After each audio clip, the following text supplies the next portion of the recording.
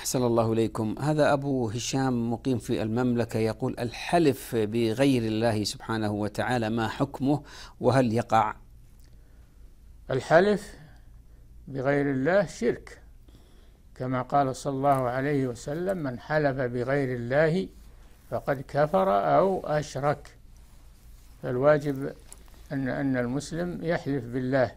من كان حالفا قال صلى الله عليه وسلم من كان حالفا فليحلف بالله أو ليصمت. نعم.